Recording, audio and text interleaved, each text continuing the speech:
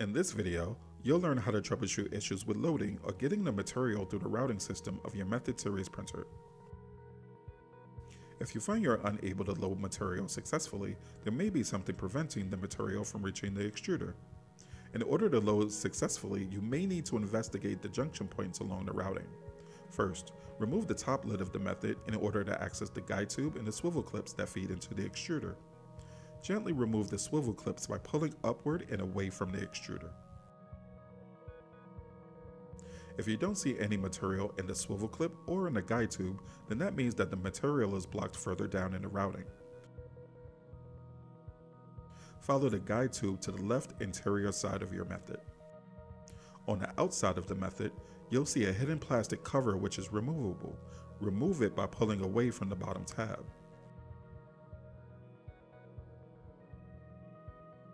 Here you'll see what we call the Y-splitter, which connects the internal routing to the external guide tubes. You'll want to reseat the guide tubes in the splitter in the event they're misaligned. In order to remove the guide tubes, push the metal tabs towards the splitter and pull the guide tube away.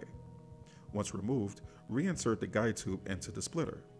There's no need to push the tabs when reinserting.